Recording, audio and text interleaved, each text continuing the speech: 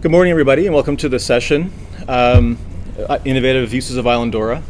My name is Mark Jordan. I'm from Simon Fraser University.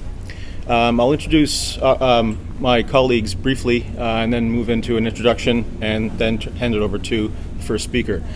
Um, this is Kristian Allen from UCLA and Evelyn McLellan from Artefactual Systems. Um, Islandora is a, uh, a general repository platform built on kind of commonly known and, and well understood tools, namely Drupal, Fedora Commons, and Solr for searching. Uh, and it's um, currently uh, using Fedora 3 and Drupal 7. That's kind of changing as we speak. There's a movement right now to migrate to Fedora 4. You may have heard a lot of buzz about F Fedora 4. Um, it has a very vibrant user community and a fairly vibrant uh, commercial support community. There are at least three commercial service providers. Mm, okay, I'll try. Actually, can someone close the door at the back, please? That helps a lot. Thanks. And as far as we know, uh, in, within the Islandora community, it's installed in a production, uh, production environment in about 100 sites around the world uh, mainly North America, quite a few in Europe, and a sprinkling in Eurasia. Um, I think I'll turn it over to Kristian now and let him take the microphone. Sure. Thank you. Um, so as Mark mentioned, my name is Kristian Allen. I'm a software developer at uh, UCLA. Um, and we use Islandora um, in a variety of different projects. Uh, so I'm going to talk a little bit about today um, just covering briefly what Mark already said, just Islandora in general, to get everybody on the same page if you're not familiar with it or you're looking at using it. Um, how particular code packages are used in Islandora, um, and how other people, others in the community can contribute to the open source um, software that so others can use particular um, projects. Uh, and then I'll focus on a use case at UCLA and a particular um, module that we contributed uh, along with DGI, uh, the Discovery Garden, a vendor, um, back to the Islandora community.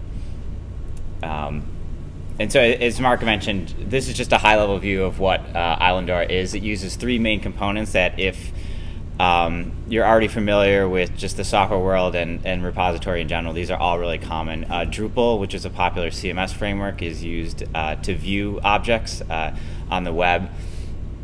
Uh, Solr is used for the browse and discovery layer. Um, so this is used to search the, the contents of the repository. And Fedora is used for long-term storage um, and archiving of, of objects.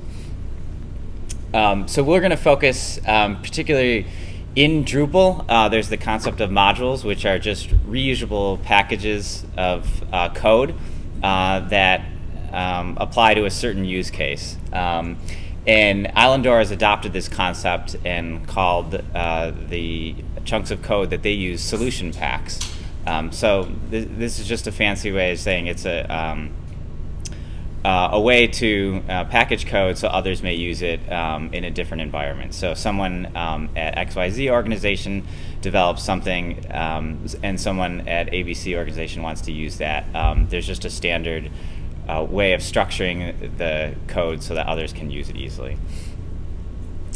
Um, and so Islandora has the concept of solution packs. So if you have um, a digital library, most likely you're doing the same things over and over again. Uh, if you want to display audio, um, there's a um, most likely you're using the same player as someone else, or if you're using video, you're structuring the data a certain way.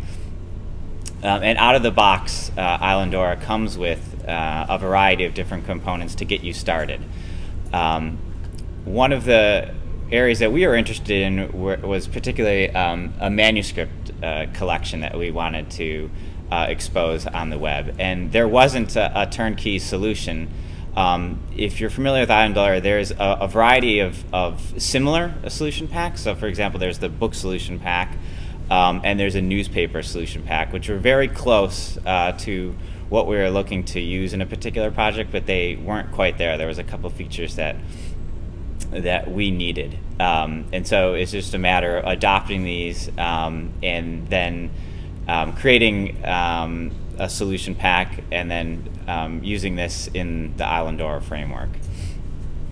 Um, and so our particular uh, use case that we had, uh, we had a need for the a manuscript solution pack. So it, essentially, there was a couple different features that the book solution pack and a newspaper solution pack didn't have. And in, in particular, this was um, TEI association and uh, a custom XSLT display, um, and also the option to view and compare multiple images uh, of, of, a work.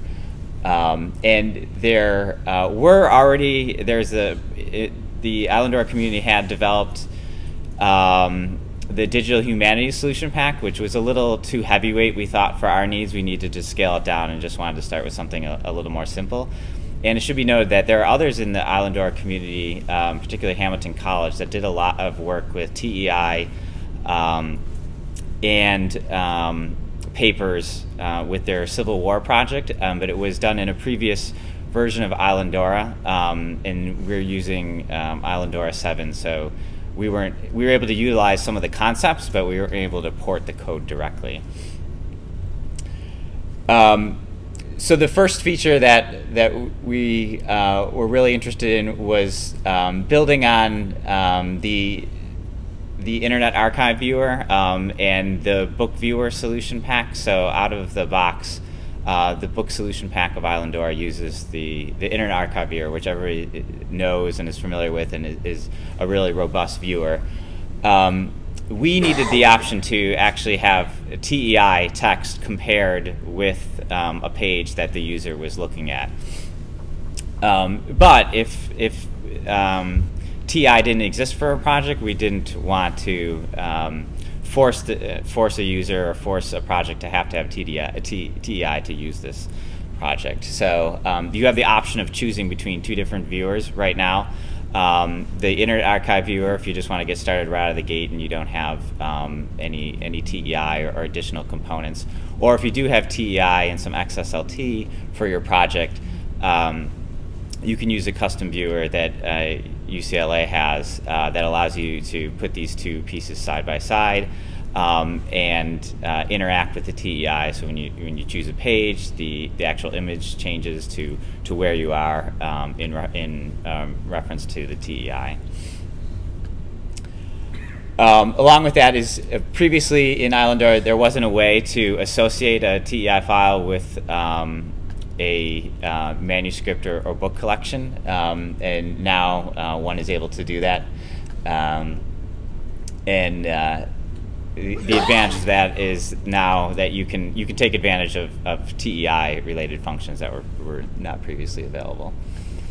Um, along with that, you're going to want to display this TEI in a certain way, and that's going to be different for every project. Uh, and so the way that that's uh, utilized is using XSLT.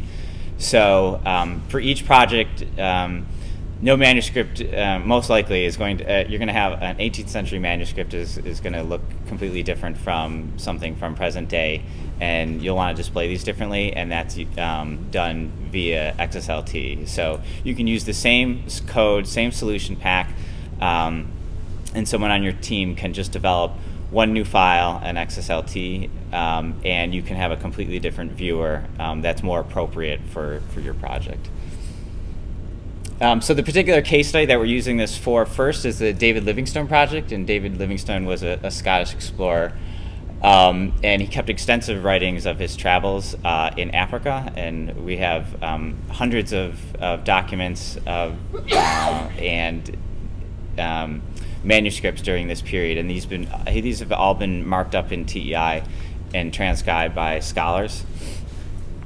Um, and we have implemented this uh, in in Islandora. Uh, so this is a, a completely Islandora site uh, utilizing the manuscript viewer that we had just um, reviewed. Um, and it's uh, directed by Professor Wisnicki at University of Lincoln, uh, Nebraska. UCLA uh, is the digital host and publisher, um, and we're working closely with um, resources at UNL to um, bring this project to fruition, and it's going. It's in beta now, and it's going live in um, at the end of May. Um, so this is just an example of, of uh, a, a, screen capture of uh, the manuscript view of a particular letter um, in the, the Livingstone project. Um, there's also all the standard features of Islandora, uh, which is a faceted browse uh, by different um, authors and topics um, and places that the um, letters were written. And also, what's really particularly interesting about this collection is um, while uh, Livingstone was in Africa, he had very limited uh, access to paper and would write uh, on um, newspaper um, uh, from left to right, right to left, up and down. Um, and he also utilized, um, after he ran out of ink, he utilized ink uh, created from local berries. Um, and so, using spectral imaging, um, you can now see uh, the different writings a lot more clear where it looks just like a mishmash if you just look at the paper. Um, and those resources are also in there, and there's you can able to you're able to compare um, these. Uh, the next step for this project is we'd like to increase the um, TEI and viewer interaction. Right now it's fairly rudimentary. You can change a page and um, it will flip to the next, uh, um, the appropriate um, uh, the appropriate uh, image that you're looking for. But we'd like to have it linkable um, and um, using OCR, some of the be able to dig into the uh, the uh, the material a, a, lot more robustly. Uh, we do need a generic batch, ingest process. So right now, this is you have to ingest this um, for your organization, but um, we'd like to have this a generic process so you can just dump things in a folder and it will um, ingest it into um, Islandora and um, generate the uh, proper derivatives. Um, additional navigation widgets, um, annotation options, and additional integration with other viewers out there, such as, such as Mirador and some of the other projects, interesting projects out there. And we have a public release in May. Um, we're running out of time, but I'll just cover. So, so, so the um, additional features of the manuscript solution pack. So right now, I've just focused on its use in um, manuscripts, but there's a um, it's really meant for archival materials in general. Um, and so if you have an EAD um, finding aid, you can ingest it using this solution pack and it will automatically generate um, something akin to a sitemap, uh, a large uh, linked page um, that you can also customize via XSLT.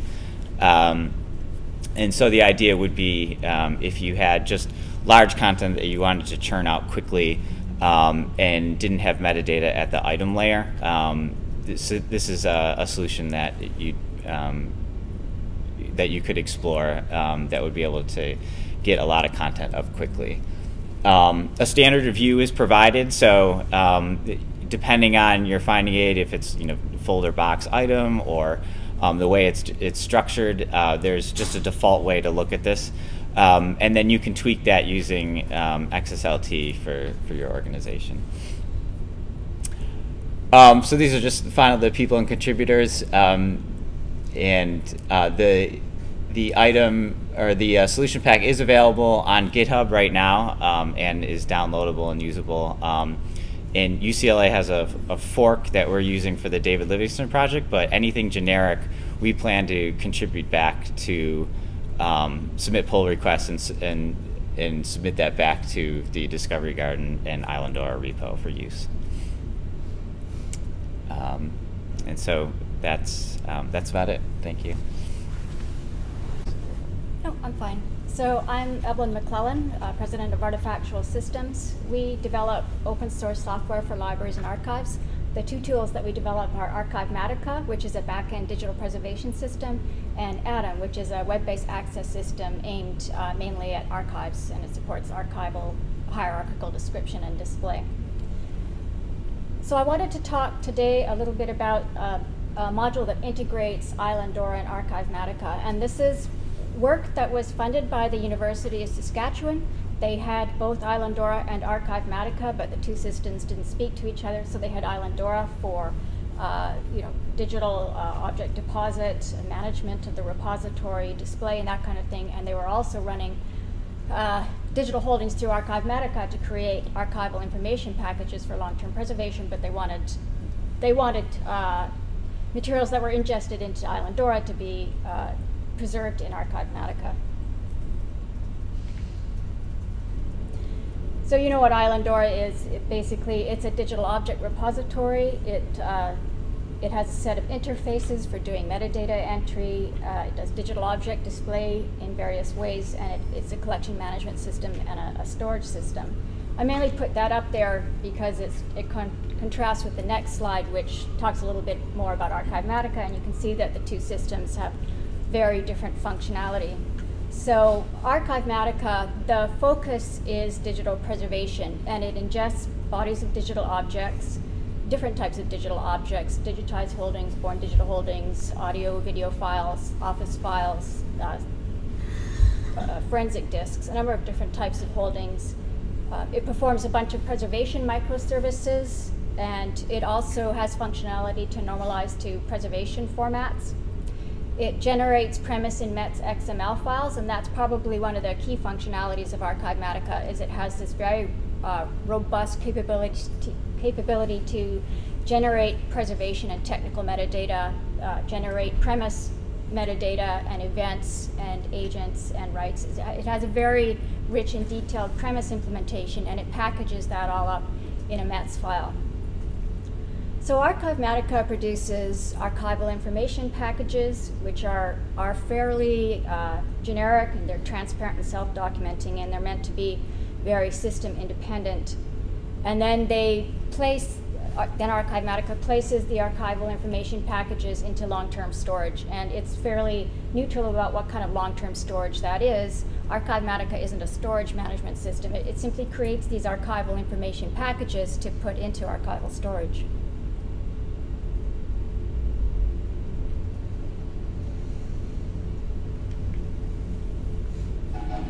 So Archidora, University of Saskatchewan contracted with Artefactual Systems and with Discovery Garden to create the functionality in both systems uh, to speak to each other.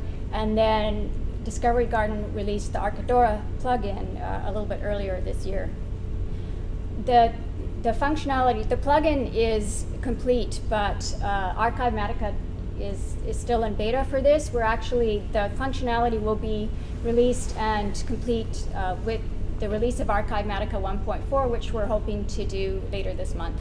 So it's very close to being ready. So this is a basic look at the workflow. Archivematica actually integrates with other access and deposit systems, and there's a couple of different ways that it can happen. Uh, you can ingest content into Archivematica, generate dissemination information packages, and then upload those dissemination information packages to access systems. In this case, the workflow is the other way. The holdings go into Islandora, and then Archivematica works on the back end um, to, to preserve the content that is coming in from Islandora. So what happens is that Islandora continues to act as the access system and uh, Archivematica is creating the archival, archival information packages in the background. So that's the basic overview. Files are added to Islandora. They, Archivematica retrieves them from Fedora and then sends back a notification to Islandora saying that the archival information packages have been generated and everything's okay. That's the more detailed view, and I'm, I'm not going to go over it in a lot of detail. That's actually one of the design documents. So basically, the workflow is that the user or multiple users are depositing content into Islandora, and Fedora content validation triggers a call to Archivematica.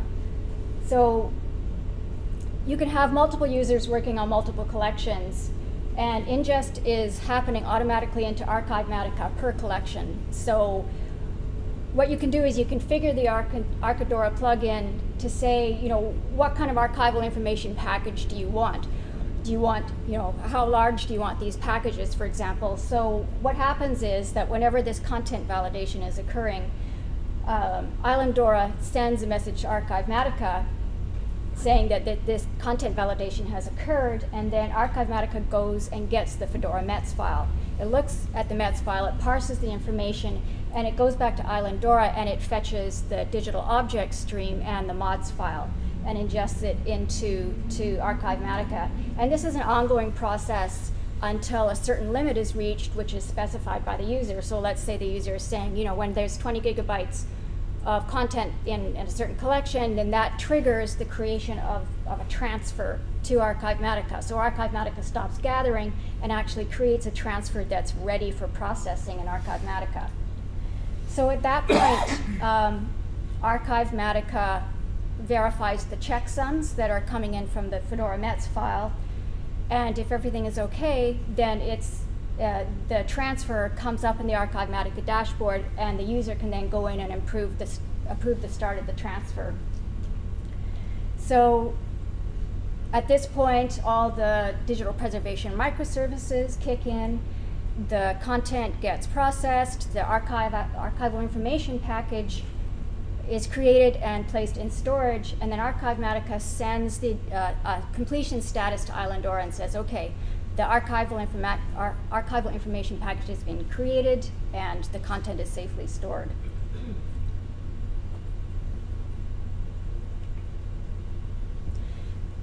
So I'm just going to show you uh, a manual process for this because it, it sort of helps um, to illustrate exactly what's happening here. So you have you have an image collection in Islandora, for example.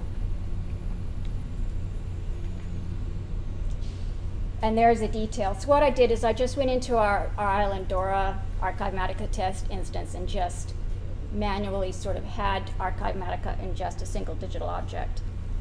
So if you were to click on the Manage tab on that screen, you would see there's actually an Archive Archivematica link there, along with all of the other things that you can do to manage this object.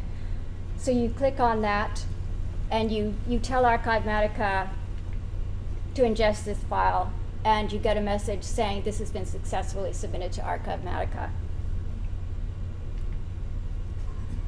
So once you've done that and you have all your content, then Archivematica does its thing. And I don't know how familiar you are with Archivematica, but that's basically one of the tabs that is showing you all the uh, results and outputs of all the, the, various preservation microservices that are happening. So in this case, you can see that there's a check mark next to the, the houses in Strathcona there. That's saying, okay, everything's been done. We've run through all the microservices. Everything is successful.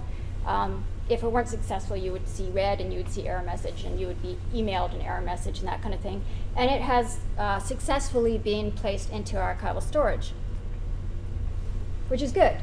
Um, th this is what Canadians look like when we're pleased.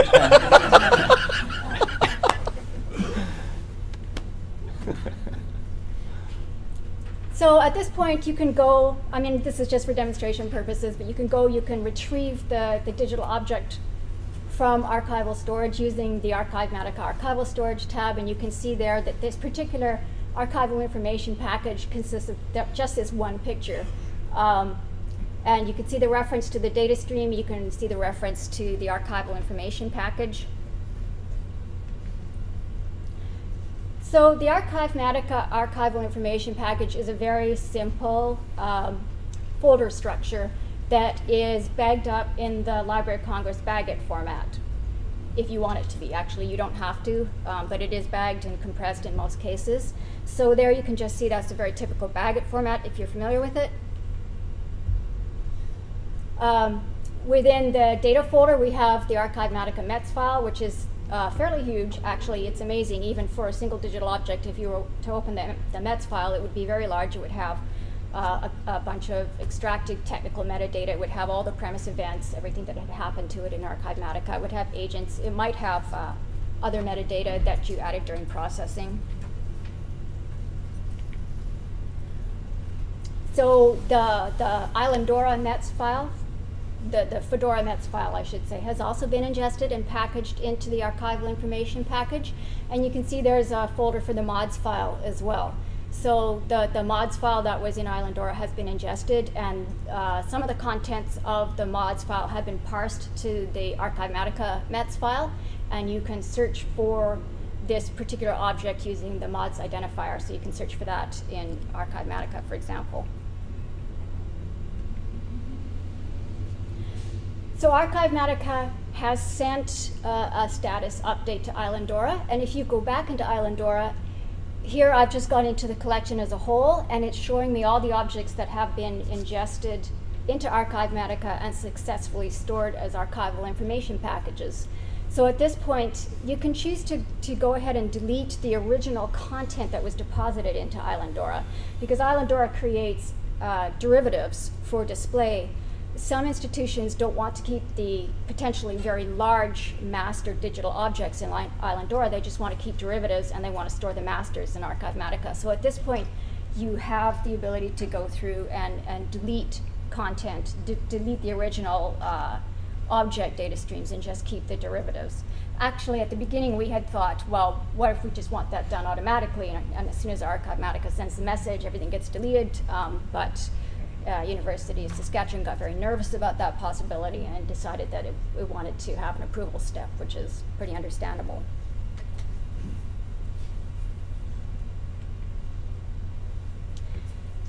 So as I mentioned, I mean, what I showed you there was sort of a manual process, but this can happen very automatically. So you can have Archivematica, Archivematica running in the background. You can be depositing a lot of content into Islandora and these uh, ingest processes can be triggered automatically.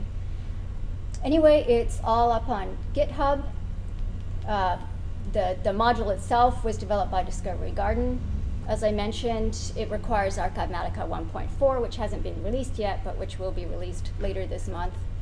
There's a lot of, there's a lot more we could do. There are, uh, we could parse more of the METS content. We could ingest the PREMIS that's coming out of the Fedora METS file and actually parse it to the Archivematica METS file. One of the other things that we could do is, I mentioned that the workflow is basically you ingest into our, to Islandora and the content ends up in Archivematica. We would love to be able to do it the other way so that if you have a bunch of holdings in Archivematica, you could create dissemination information packages and push them to Islandora. We always want the, the workflow to work both ways so it doesn't tie the institution to always uh, doing everything in, in one way in a particular linear order. Um, and of course, you may have Archivematica for years before you get Islandora, and then you want to push all your content to Islandora. So that's uh, development that awaits funding. Um, and so uh, basically, watch this space is what I'm saying about that part of it. And uh, that's it. So I'm going to talk about my library's migration to Islandora. Uh, and uh, you may be asking, what's so innovative about a migration? We all do them. They're fairly common, if not routine. Um, there's not a lot innovative about our migration, except that we are being forced to, we have a lot of things. We have 1.3 million objects in our current reposit general repository system. It's a CONTENTdm repository. And the size of that migration is forcing us to be innovative in certain ways. Um, and I'll talk about that in a, in a minute. Um, we also are developing a lot of tools during preparation for and and for after the migration. And as Kristian's already alluded, um, Islandora is fairly modular, uh, kind of following in the pattern set by Drupal. It's got a, a, very open backend. Fedora Commons is completely open with APIs that you can do interesting things with. So this is allowing us to create a lot of new modules, solution packs, and, and, and miscellaneous tools for Islandora uh, to help meet our needs, again, prior to, during, and after the migration. And I'm going to talk about a few of those things in detail. Uh, and I'll be talking about why we're migrating, um, what I'm calling our migration use cases, some things that are special to us, although they could be uh, the case with other sites as well um, talk about our metadata mapping and conversion process and tools, and then talk about two or three um, of the other tools that we're developing and we'll be releasing uh, to the community for their use if they can find a use for them. So why we're migrating? Um, we've been using CONTENTdm for a number of years and it's served us fairly well, but it's not very flexible at all. And we need a we need a much more flexible repository platform to do things like to start automating workflows, so to move content between uh, tools and, and repository uh, platforms. Uh, we need to um, uh, we can't do that with CONTENTdm at the moment. Uh, it's impossible to automate. Uh, my library tends to favor open source solutions, particularly when they're good or better than the commercial alternatives. And we already use Islandora in a uh, another repository that's fairly new. Uh, it's called Radar. It's our research data repository, and Brian Owen uh, talked about it in this room yesterday uh, afternoon. Uh, our institutional repository is a straight-up Drupal site. It's not Islandora, it's just Drupal. Um, but we have over 10,000 objects in that repository, mainly theses, but also a lot of e-prints and preprints. And uh, we are a Drupal shop. we run our two main websites on Drupal, and we have probably half a dozen other Drupal-based websites of various kinds. So we want to standardize that platform, and Islandora is giving us an opportunity to do that. These migration use cases I mentioned a minute ago, again, uh, one of the most important and challenging is the size of our migration. Uh, 1.3 million things in CONTENTdm, 900,000 of which are newspaper pages. So we have a pretty big collection of newspapers. Uh, and that's significant for a migration to Islandora because when you ingest newspapers into Islandora, it takes a long time because it, it, runs each TIFF image, each page image, through uh, an OCR process. It converts from TIFF to JPEG 2000, and it, it just takes quite a while. It would, it would for any system, um, but it does take quite a while in Islandora. Something, uh, I'll explain this in a few minutes in de more detail, but uh, CONTENTdm provides a web, an HTTP API. You can query it via a, URL, and you can get information about objects in, in CONTENTdm via uh, a URL. And we have taken advantage of this by building a, a Drupal module uh, in a few years ago that uh, is the front end for a set of collections in CONTENTdm within a Drupal website. Um, and because of that, we have two, two of our other Drupal websites I mentioned a minute ago are Multicultural Canada and the Komagata uh, journey. Um, so we have two kind of boutique websites or websites that consume content that's in CONTENTdm in a Drupal website. And uh, we don't have time or resources to convert those to Islandora now.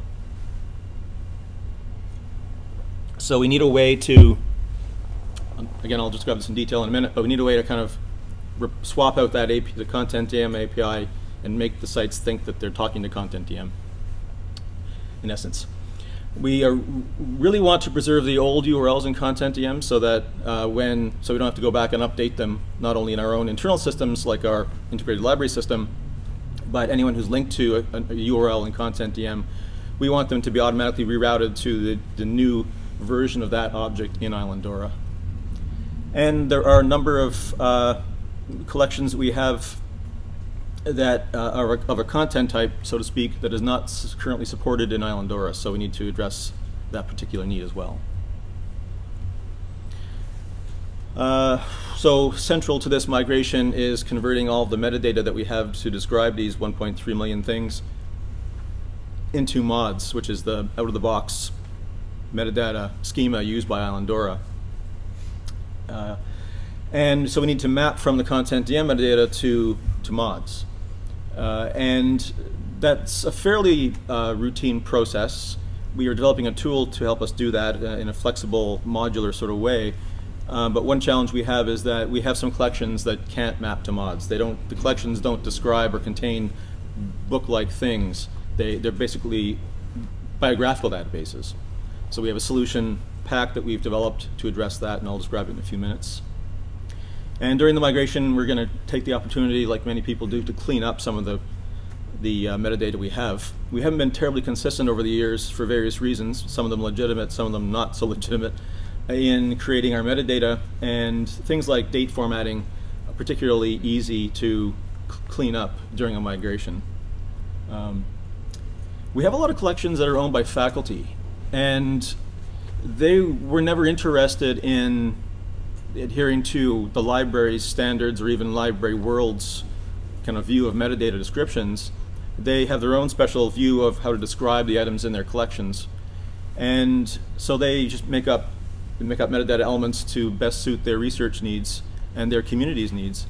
Uh, so we have another challenge, and that is how do you map those kinds of metadata structures into a, a library-specific, domain-specific structure like MODS. And uh, kind of the outcome of the migration is to develop a kind of a single library-wide metadata profile with specific profiles for different kinds of collections uh, in, in our repository. So a couple of slides that just show kind of how we're doing this. Um, in CONTENTdm, you have, for each collection, it allows you to configure the metadata the way that you want. Uh, largely based on, on the DC terms metadata element set, the Dublin Core metadata set. And uh, we're not using the, meta, the DC terms mappings in this migration because uh, we feel that, especially in some cases uh, that I just described with the specialized metadata from faculty, we, there's no mapping. First of all. Second of all, uh, we're, we're kind of losing, we can lose information if we map to Dublin Core and then map up to a more granular schema, MODS. So we're skipping that. And what we're doing is taking all the fields in a particular collection, as you can see illustrated on the left, and as part of the tool, which I'll describe in a second, allowing um, a metadata expert to configure a template that is used to create the mods record for the, that item during its migration into Islandora.